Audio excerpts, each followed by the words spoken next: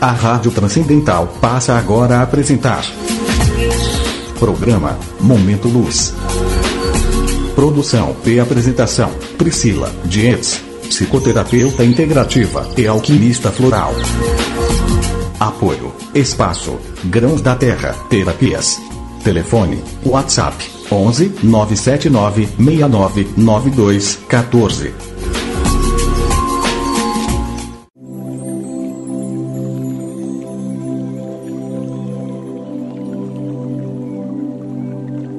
Olá pessoal, sejam todos bem-vindos né, a mais um programa aqui, Momento Luz, o nosso 45 programa aqui na Rádio Transcendental.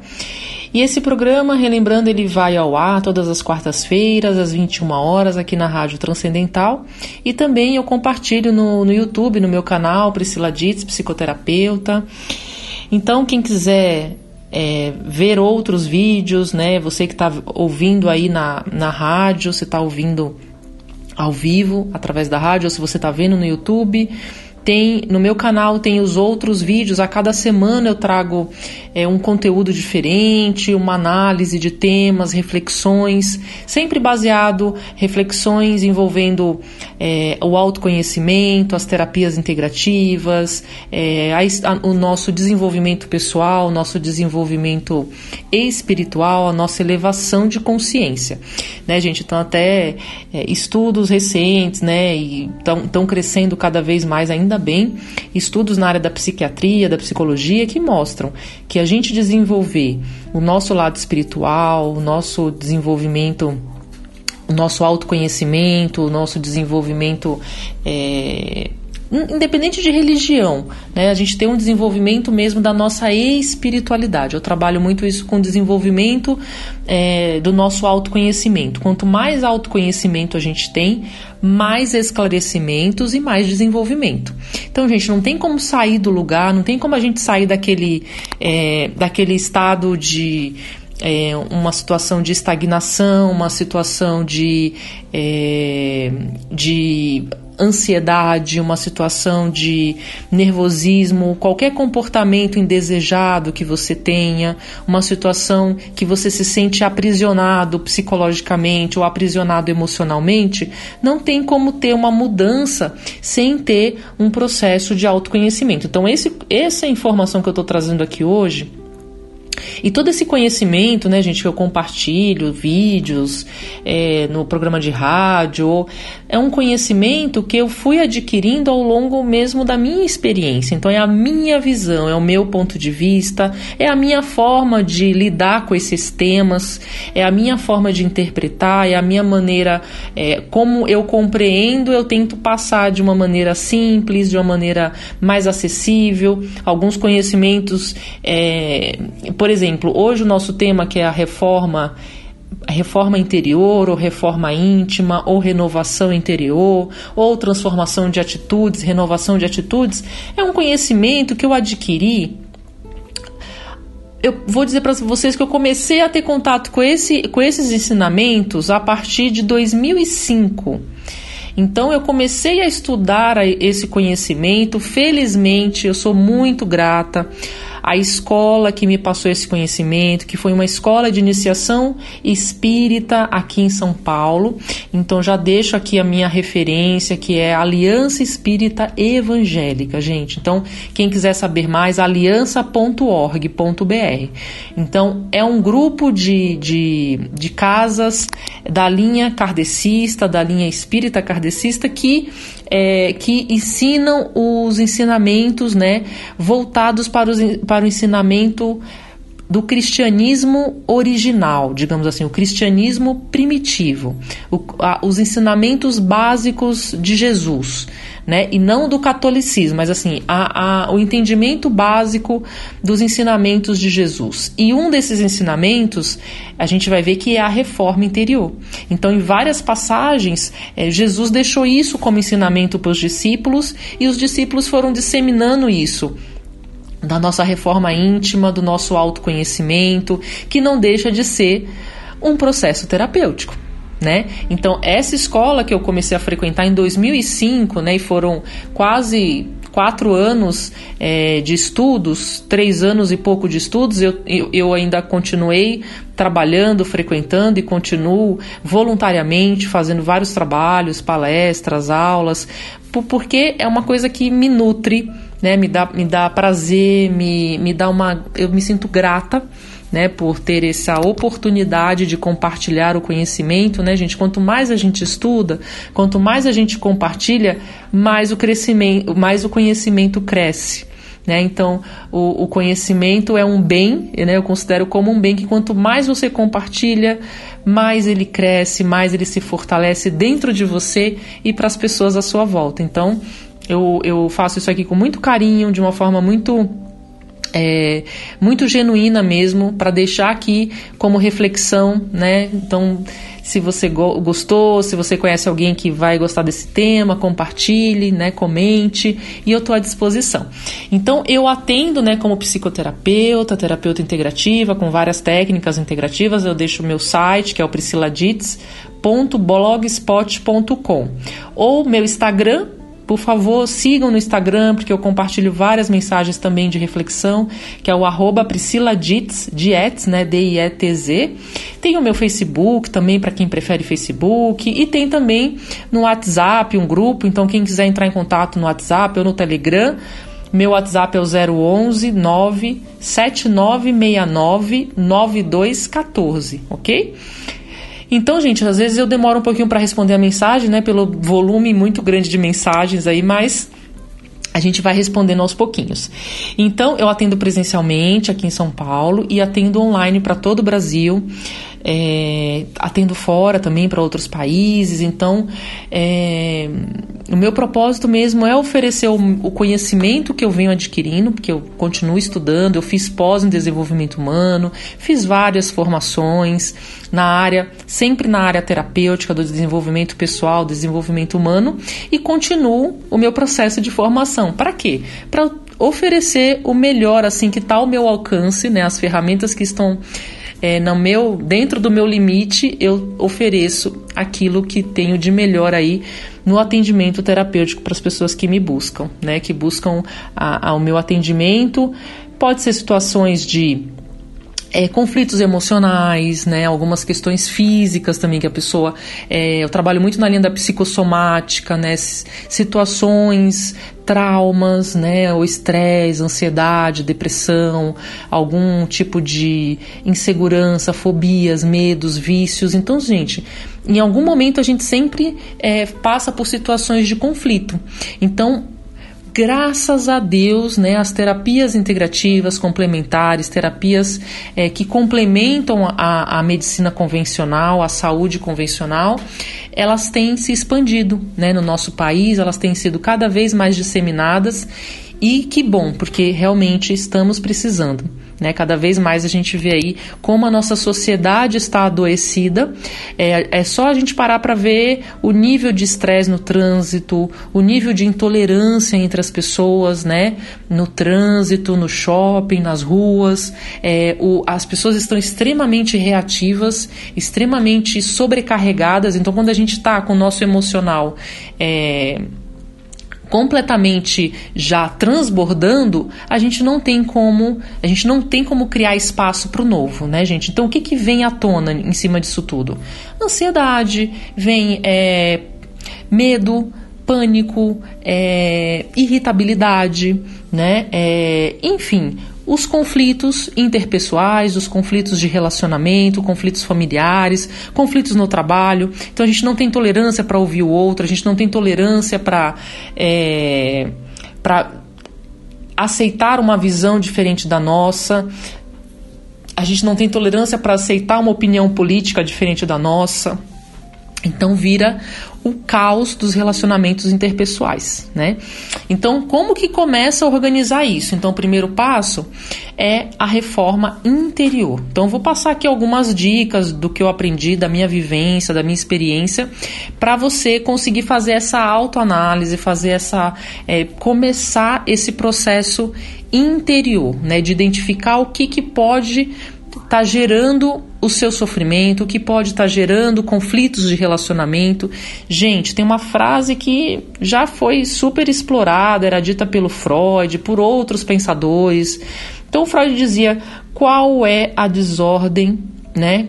Qual é a sua contribuição ou a sua culpa, o seu nível de desordem, é, de, da, da, desordem que você se queixa, né? Então, é, vamos falar um pouquinho então do conceito da reforma íntima. É, a reforma íntima é um processo contínuo de autoconhecimento, conhecimento da nossa intimidade espiritual, né? Então, gente, a reforma interior ou a renovação interior é, traz muito esse conceito da transformação é, do. Sabe, de você quebrar velhos paradigmas, de você se transformar, é, abandonar velhos hábitos, abandonar velhos padrões, velhas formas de pensar e você introduzir novos repertórios, introduzir novos é, novas atitudes, novos pensamentos, é, quebrar é, tendências de comportamentos repetitivos que a gente traz, por exemplo, na, na nossa própria família. Né? Às vezes a gente vê um comportamento familiar e a gente acaba reproduzindo esse comportamento inconscientemente, mesmo quando a gente não concorda com aquele determinado comportamento. Então é uma reforma completa do nosso eu, transformando o que? Os nossos defeitos, né, aquilo que a gente considera o defeito, que a gente considera que não nos faz bem, transformando em virtudes. Então hoje eu vou falar um pouquinho para cada defeito que a gente identifica, qual seria a virtude a ser trabalhada? Então, para todo defeito, gente, existe uma virtude. Então, para cada ponto negativo, existe um ponto positivo que você pode trabalhar, você pode desenvolver promovendo essa mudança para melhor, elevando a sua condição humana, humana, elevando o seu desenvolvimento pessoal do ponto de vista né, da reforma íntima, do ponto de vista dessa renovação interior para o seu desenvolvimento espiritual, para o seu desenvolvimento moral, para o seu desenvolvimento como pessoa. Então, a reforma interior é um, um, meio da gente se libertar das nossas imperfeições, né? De fazermos de forma. É, um, é realmente uma ferramenta, gente, objetiva.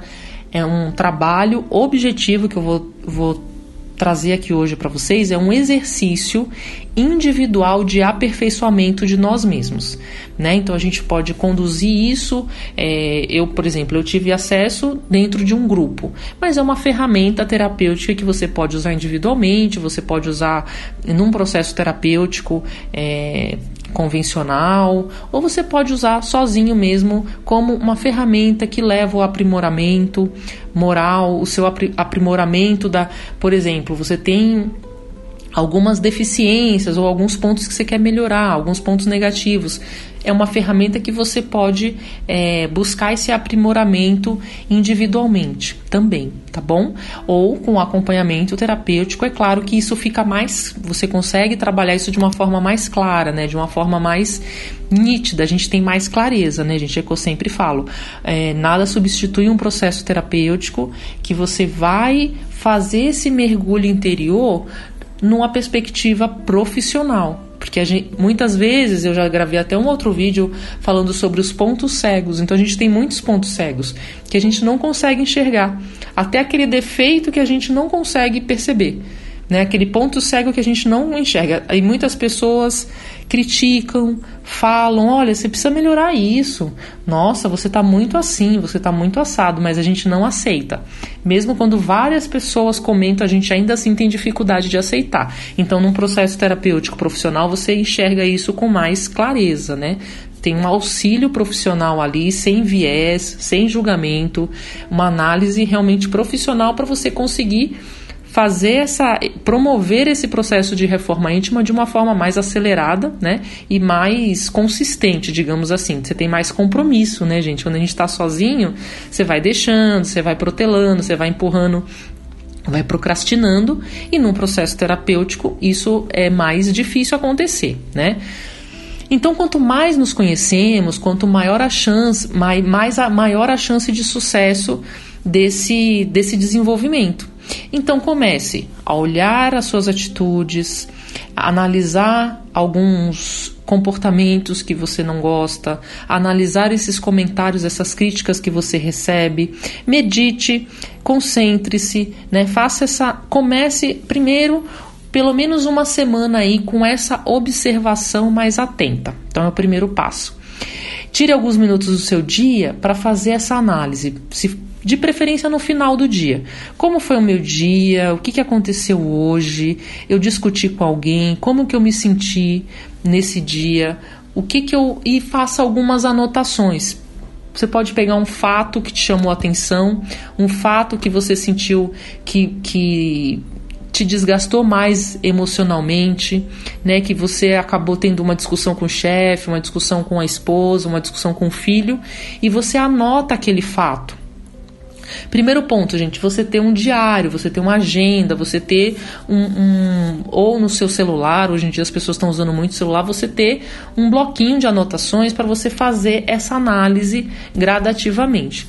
E sugestão, gente, assim, menos esse esse tipo de exercício, você tem que fazer pelo menos por, vou colocar assim, minimamente por seis meses. Você fazer uma análise diária por pelo menos seis meses para você conseguir observar uma evolução ou uma mudança, tá? Então, começando a observar, fazendo essa observação diária. Segundo passo, começar a anotar um fato. Um fato que você identifica algum defeito. Eu vou falar ah, daqui a pouquinho a lista dos defeitos, né? E a lista das virtudes. Então, como a gente tem falado, você fazendo essa rotina, você começando a criar esse hábito da autoanálise, de olhar para dentro de você mesmo, de procurar é, analisar o meu relacionamento diário com os meus colegas de trabalho, com os meus familiares, com o, pessoas à minha volta na rua, né? Se eu estou me estressando no trânsito, se eu não estou, se eu estou conseguindo relevar, ou se eu estou levando tudo a ferro e fogo. Quanto mais a gente exercitar isso diariamente, mais a gente vai criando, aprendendo a cultivar esse hábito, ok? E aí, um outro passo é anotar, então você vai identificar o fato e dentro desse fato você vai identificar um defeito. Identificando o defeito, você vai identificar qual é a virtude que está relacionada àquele defeito que você precisa trabalhar. E aí, identificou a virtude, você vai colocar uma proposta de melhoria para você mesmo. Então é como se fosse um plano de ação, né? Eu também como tive a formação na área da administração, é como se fosse um plano de ação, né? Um PDCA, é um PDCA íntimo, um PDCA de você mesmo. Né? Para quem não conhece da área da administração, PDCA é, é as quatro etapas de um plano de ação, né? Então, é mais ou menos isso: é você analisar, identificar o defeito, identificar a virtude que precisa ser trabalhada, é um plano de melhoria, né? E aí você faz esse plano de melhoria, por exemplo. Vou pegar um exemplo. É, fiquei. Xinguei no trânsito, é uma coisa que te incomoda, você quer mudar. Me descontrolei no trânsito, é o fato. Defeito, irritabilidade, por exemplo, intolerância, tá? A virtude qual seria? A paciência. Contrário da intolerância, a paciência. E aí, qual é o plano de ação? Estou fazendo de uma forma bem simples, tá, gente? Plano de ação. Me controlar mais na próxima vez que eu estiver numa situação estressante no trânsito. Então, o plano de ação é realmente uma ação que você quer ter num, num outro momento, uma ação diferente daquela que você já teve, o que você vem tendo ao longo de vários anos, né? Então você quer mudar. Então, basicamente, essa primeira etapa. No próximo bloco a gente vai falar mais um pouquinho e aí eu vou é, trazer essa, essa reflexão de vários defeitos. Então você identifica, para você identificar os defeitos, gente, é a parte mais difícil mas eu vou trazer aqui uma lista de defeitos e uma lista de virtudes que a gente pode trabalhar e você pode identificar no seu dia a dia para começar a movimentar essa reforma íntima, para começar a movimentar esse plano de ação.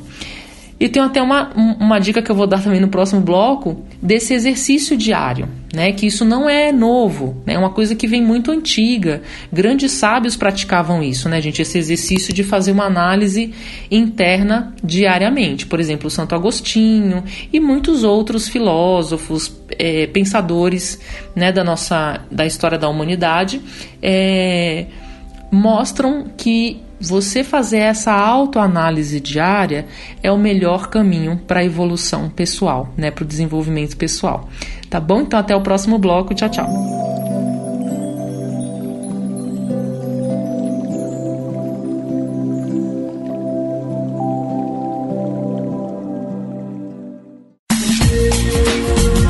A Rádio Transcendental leva ao ar toda quarta, às 21 horas. Programa Momento Luz. Produção e apresentação: Priscila Dietz, psicoterapeuta integrativa e alquimista floral. Apoio: Espaço, Grãos da Terra, Terapias. Telefone: WhatsApp 11 979 69 92 14. Rádio Transcendental. Aqui possível se a gente quiser. A mais holística das rádios. A Rádio Transcendental continua apresentando. Programa Momento Luz. Produção e apresentação: Priscila Dietz, psicoterapeuta integrativa e alquimista floral. Apoio: Espaço, Grãos da Terra, Terapias. Telefone: WhatsApp 11 979 69 92 14.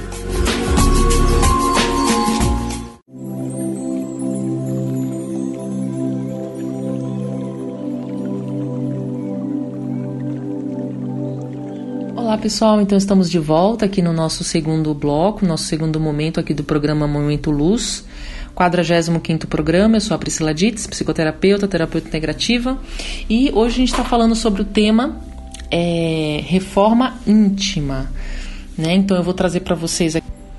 Então vou trazer para vocês aqui, gente, justamente essa é um, uma, como a gente estava falando no primeiro bloco, é, um resumo, né? Uma, uma coisa bem sucinta, bem rápida de como você consegue colocar em prática esse exercício, que é um exercício que é muito antigo, como eu falei no primeiro bloco, a reforma íntima não é algo novo.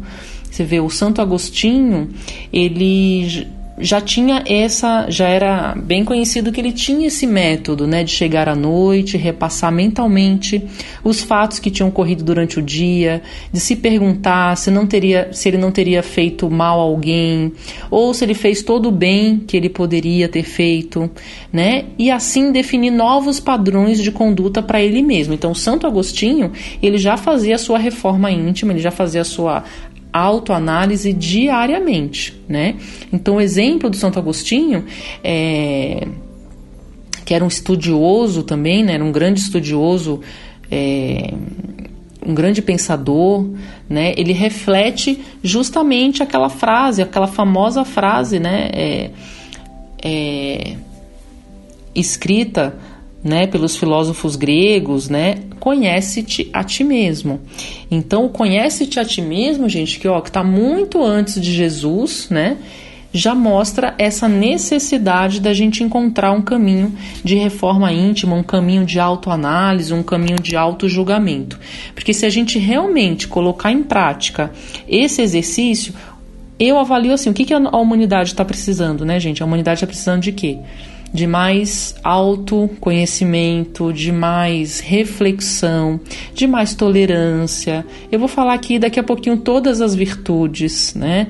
Todos os defeitos então, desculpa que hoje está tendo algumas interrupções aqui na gravação, talvez vocês percebam ou não, mas é porque eu estou gravando aqui em casa e já são 11 horas da noite aqui, eu estou gravando e minha filha acordou e tudo mais, aquela coisa, né, de mãe, mas tá tudo bem, vamos tentar finalizar aí o, o segundo bloco. Então, peço desculpas aí por algum alguns cortes, a, a, gravação. Então, é o que eu falo, né, gente? A gente faz assim, com muito carinho, com muita dedicação, né? Compartilhando o nosso conhecimento de uma forma simples, de uma forma humilde. E é, mas sempre vai ter pessoas, né? Até Jesus não agradou a todos, né? Nem Jesus, nem Gandhi, né? Que também foi assassinado, né? O Mahatma Gandhi, que trouxe mensagem de paz, de, de amor ao próximo, também não agradou. Inclusive foram assassinados, né? Pessoas boas que estavam trazendo bem. Então, é, para você não incomodar os outros, é, a única forma é você não fazer nada, né? Até eu postei outro dia no Instagram uma frase é, que uma, uma, frase do Aristóteles que fala um pouco disso, né? Então, para a gente não ser criticado, a gente não tem que fazer nada, não tem que falar nada, não tem que ser nada, né? Mas a partir do momento que você tem um ideal, que você tem uma postura, que você tem uma que você mostra, né? É, se mostra para o mundo da maneira que você é, da maneira que você pensa, vai gerar controvérsias, vai gerar atrito, vai gerar discordância e tudo bem, né? Tudo bem se a pessoa não concorda, é, sempre a a inquietação, né, o incômodo faz a gente melhorar. A crítica também faz a gente melhorar, faz a gente progredir. Mas é que eu sempre digo, quando a gente, quando o professor está lá na frente dando aula ou quando você está se expondo, é, é muito mais difícil. Quando a gente está assistindo você criticar, uma posição de crítica é bem mais fácil. Mas uma posição de você é, ter a iniciativa, é, ter a coragem de ir lá e expor, né, expor o seu pensamento, expor o seu conhecimento, é muito mais difícil.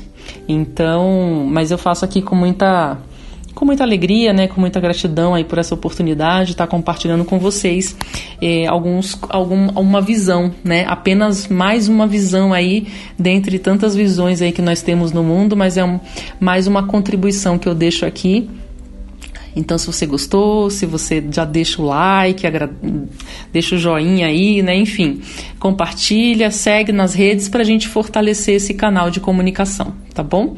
Então, vou trazer também um floral associando a linha de florais alquímicos que eu trabalho. Então, todos os florais, gente, que eu trabalho, eles trabalham justamente em um trabalho terapêutico de desenvolvimento e fortalecimento emocional. Então, o que, que acontece? Muitas vezes não o Santo Agostinho, né? O Santo Agostinho ele conseguia fazer esse processo de autoanálise sozinho, né? Mas é muito difícil. Então, o floral, por exemplo, que eu trabalho, é uma, é uma das ferramentas possíveis de aflorar nessas né, reflexões, por exemplo. E aí o floral que eu trago hoje é o floral de, da camélia. A camélia, no sistema alquímico né, que eu trabalho, a camélia ela favorece justamente o autoconhecimento, ele é excelente para o trabalho terapêutico, ele aflora insights, né? Quando a gente está tomando esse floral, ele vai aflorar os insights para trazer mais fortalecimento mental, desperta é, reflexões, né, acerca de você mesmo. E assim, gente, como eu trabalho, eu trabalho numa linha que não é só tomar o floral né? Só tomar o floral e achar que é um passe de mágicas que vai resolver tudo, não. Precisa de iniciativa, precisa de ação, precisa de mudança de comportamento, precisa realmente de esforço.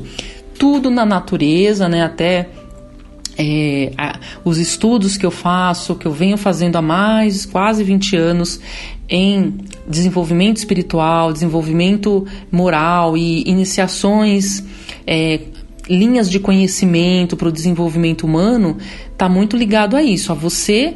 É, tudo vem através de um merecimento, tudo vem através do seu esforço. Não vai haver recompensa se não houver um esforço. Então não tem como haver mudança se não houver ação. Então por isso que o, a reforma íntima é um exercício e deve ser um exercício diário ok? Assim como o Santo Agostinho já fazia lá diariamente mentalmente. Aqui eu estou propondo uma ferramenta física, porque quando a gente faz mentalmente, a gente se perde. Né? Então, se você colocar isso numa agenda, colocar isso num diário, fica mais palpável, né? Esse, esse exercício ele fica mais palpável. Então, dando continuidade. Então, a gente separa o quê? Em defeitos, como eu falei no primeiro bloco, as virtudes e o seu plano de ação ok? Então tem até um é, um resumo assim que eu vou, vou categorizar os defeitos em quatro grandes grupos, tá, gente? Então os, os quatro grandes, digamos assim, os quatro maiores defeitos que são é, eles são pai digamos assim, são defeitos que são pai da maioria dos nossos problemas. Então, o primeiro é o egoísmo, o orgulho, a vaidade e a inveja. Então, são esses quatro grandes defeitos. Depois eu vou falar outros. Então, se eu sinto uma questão do, do orgulho, do egoísmo, né? Egoísmo e orgulho, tá, gente? Assim, diferença. O egoísmo é algo que é um, um, egocentrismo, algo que eu me sinto, né? É tudo para mim, é tudo eu. E o egoísmo já é, o, desculpa, o orgulho já é algo que está muito ligado a você ter orgulho, né? De não, enfim, tem n exemplos aqui que eu não vou ficar elaborando agora, mas assim o orgulho e o egoísmo. Então, se você quiser saber mais, ah, eu tô com dificuldade de identificar. E é normal, tá, gente? Nossa, isso aqui é orgulho ou, ou egoísmo? Será que eu. Esse, essa situação aqui, eu, eu fui mais orgulhoso ou eu fui mais egoísta? Isso é importante no seu processo de autoanálise. Então, se você quer entender melhor, pesquisa lá o que é egoísmo no dicionário, o que é orgulho o que é definição de vaidade, definição de inveja, porque aqui não vai dar tempo da gente definir cada defeito que eu vou falar, o conceito de cada defeito, mas é importante. Né? Então, na iniciação que eu fiz na aliança, a escola de aprendizes do Evangelho, da Aliança, da FDJ, Federação dos Discípulos. De... Então, todo esse conhecimento é passado durante três anos. São muitos anos de estudos para a gente ir compreendendo profundamente esse processo de reforma íntima na visão da aliança. Então, a gente vai esmiuçando o que é cada defeito, qual o conceito, mas aqui nesse programa rapidinho não dá, né, gente? Então, vamos lá. Os quatro grandes defeitos: egoísmo, orgulho, vaidade e inveja. Virtudes: as quatro grandes virtudes: caridade, amorosidade, benevolência e solidariedade. Aí a gente faz agora um paralelo entre esses dois eixos. Então, se eu tenho atitudes muito egoístas o tempo inteiro, o que, que eu preciso trabalhar no oposto? A caridade. Se eu tenho atitudes voltadas para o orgulho, que, que eu tenho que trabalhar? A amorosidade. Se eu tenho atitudes voltadas para a vaidade, para o meu, né, para minha autopromoção, minha autovalorização, a vaidade está ligada à soberba, né? A, eu me senti a, a, o, o, complexo de superioridade. Então, se eu tenho uma, uma vaidade muito exacerbada, o que, que eu vou trabalhar no oposto? A benevolência. Se eu tenho uma inveja exacerbada, o que, que eu vou trabalhar no oposto? A inveja, eu posso trabalhar o quê? A solidariedade, né? E aí, vamos continuar aqui no, no destrinchando esses defeitos. Então, é, uma outra forma da gente fazer uma leitura. O orgulho, o que, que eu posso trabalhar para combater o orgulho? A humildade. A vaidade, o que, que eu vou trabalhar? A modéstia né, gente? Vaidade, eu querer é, ser a roupa melhor, o sapato melhor, o carro melhor, eu tenho que trabalhar o quê? A modéstia, eu, me, eu ficar feliz com aquilo que eu tenho, agradecer, a questão da gratidão. Vamos para o número 3, inveja. Então, se eu sou uma pessoa que sou motivada pela inveja, aquela inveja me corrói por dentro, mesmo que eu não não aceite, o que, que eu tenho que trabalhar no oposto? A virtude seria a, resign, a resignação. Então eu eu combater essa inveja, ou seja, eu também ser grato àquilo que eu conquistei, aquilo que eu tenho. Então se eu quero um cargo X, eu tenho que fazer uma análise o que, que eu preciso melhorar para atingir aquele cargo, né? E não ter inveja do cargo do outro, ou da função do outro, ou do salário do outro. Mas o que eu posso melhorar, o que, que eu preciso me desenvolver para ser capaz de atingir esse cargo. Se não for nessa empresa, em outra empresa. Ciúme, gente, é um dos defeitos também que está aqui na lista, um dos principais defeitos. Destrói relacionamentos, destrói famílias. É, o ciúme é um dos principais motivadores do, do feminicídio, né? O assassinato, a violência contra a mulher. Então, olha como o ciúme ganhou aí uma, uma, uma importância né, na, na patologia nas patologias psíquicas, né, gente? É uma patologia psicológica o ciúme. Então não é sinônimo de amor, não é, não é, não tem nada a ver com amor o ciúme, né? Pelo contrário, o ciúme é uma doença e precisa ser tratada é, adequadamente. Então, se eu tenho um ciúme que para mim já, eu já considero que é exagerado, eu tenho que trabalhar o que? A sensatez. Né? A, eu uso muito esse exemplo. O ciúme muitas vezes é uma criação mental da pessoa. Muitas vezes a pessoa elabora, né? A pessoa cria situações na mente dela que não existem. Então, sensatez é o que, que é, gente? Sensatez é ser sensato, é você agir com a razão e não agir com o instinto, não agir no instinto do ciúme. Né? O ciúme está ligado ao quê? Está ligado ao egoísmo, é meu. O ciúme é a questão da posse, é meu, é uma coisa bem animal, bem instintiva, bem primitivo, né? Um sentimento bem primitivo, é meu. Você vê que a criança logo logo nos primeiros anos de vida ela já já manifesta esse esse instinto, né? Essa coisa de é meu, só meu, não não e, e não querer dividir. Isso é bem instinto animal, né, gente? Não é mais uma coisa do, do racional, da razão. Então tem também uma coisa muito interessante que eu aprendi, e, enfim, tem que até gravar um outro vídeo sobre isso, que é a nossa evolução através dos reinos, tá? Então nós temos o reino mineral, o reino vegetal, o reino animal, o reino nominal e o reino superior, o reino mais elevado espiritualmente. Nós estamos nessa trajetória de evolução. Então a gente vai acumulando os sentimentos ao longo desse processo evolutivo nosso. Né? Então, é, quando você manifesta o sentimento mais instintivo, mais animalesco, um sentimento de impulso, de agressividade, da não racionalidade, você está onde? Você está no reino animal. Você não está no reino do hominal, do, do homem, né? O, o reino do, mais evoluído dos seres humanos. Você tá, ainda está no reino dos animais. Então, dependendo das as suas atitudes, que vai categorizar em qual, se você está agindo de uma forma é, animal ou de uma forma humana, tá? De uma maneira irracional ou de uma maneira racional. Continuando, então, se eu sinto muita é, mesquinharia, avareza, é, questão de querer acumular, né, os acumuladores, mesmo que seja algo inconsciente, os acumuladores de plantão, o que, que eu tenho que combater? a generosidade, né, gente? Generosidade, a caridade, né? É, fazer uma, uma obra de caridade, fazer um trabalho voluntário, trabalhar essa avareza. Eu não estou dizendo aqui que é fácil, gente, não estou dizendo que é simples, mas é possível, existe um caminho para isso. E muitas vezes é, a avareza, é, os acumuladores precisam de ajuda profissional, precisam de ajuda terapêutica. Já tratei alguns casos que não é fácil, é um vício, acaba virando uma compulsão por acumular, por exemplo, né? Acaba virando um processo compulsivo.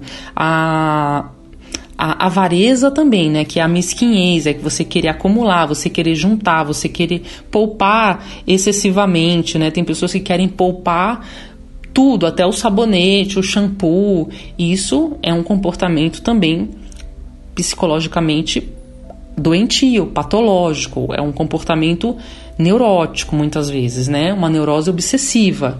Aí já entra na, nas questões mais psicológicas. Bom, voltando, ódio. Então, se eu sinto ódio, raiva, o que, que eu tenho que trabalhar? A afabilidade, a doçura, a tranquilidade no meu temperamento. Se eu tenho remorso, se eu tenho rancor, né? O que, que eu tenho que trabalhar? A compreensão, a tolerância. Se eu tenho sentimentos de vingança, de querer me vingar, de me sentir injustiçado, de me sentir. O que, que eu tenho que trabalhar? O perdão, gente. Se eu tenho sentimentos de agressividade, atitudes agressivas, eu tenho que trabalhar o quê? A brandura, a pacificação. Se eu tenho atitudes de personalismo, né, de ser tudo meu, do meu jeito, de querer tudo da minha forma, eu tenho que trabalhar o quê? O companheirismo, a renúncia.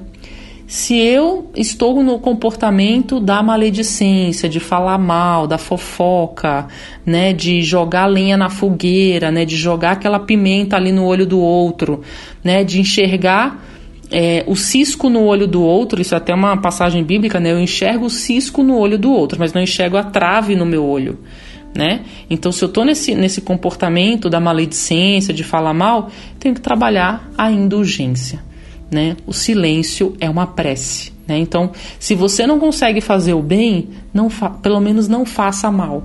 Evite o mal. Se você já não consegue fazer uma ação de voluntariado para ajudar as pessoas, ter uma atitude de ajudar, você já, já ganha muito na sua vida pessoal, na sua vida profissional, não fazendo mal. Evitando o mal já é melhor do que não fazer nada, né, gente? Então, nesse sentido aí. Intolerância. Se eu sou uma pessoa extremamente intolerante, impaci...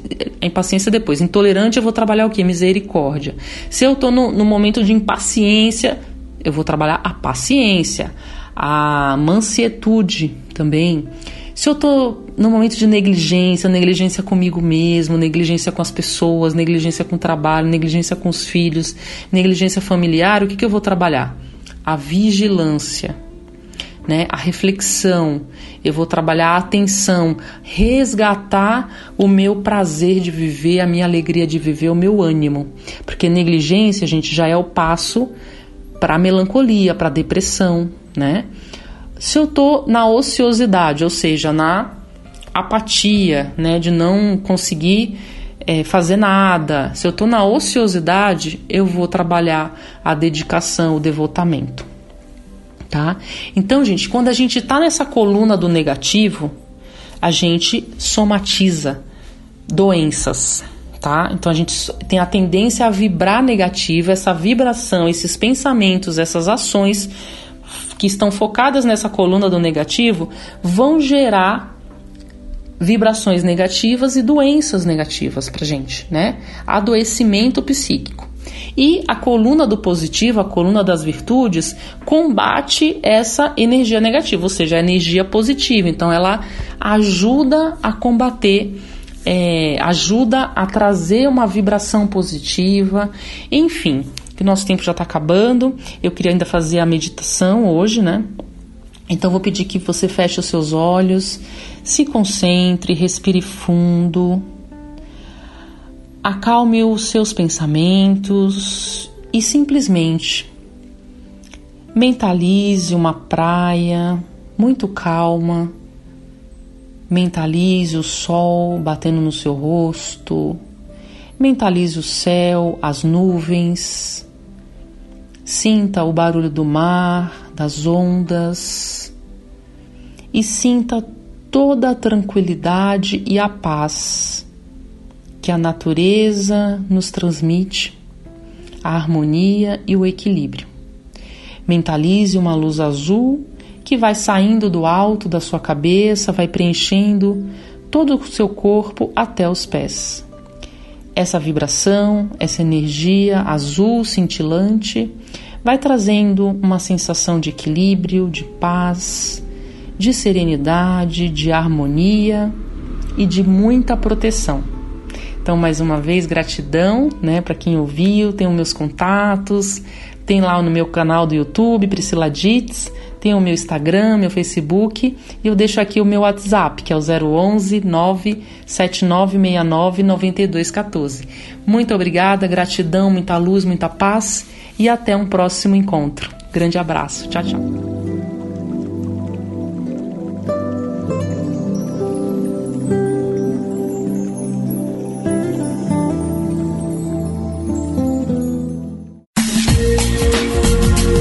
A Rádio Transcendental acaba de levar ao ar. Programa Momento Luz. Produção e apresentação: Priscila Dietz, psicoterapeuta integrativa e alquimista floral. Apoio: Espaço, Grãos da Terra, Terapias. Telefone: WhatsApp 11 979 69 92 14.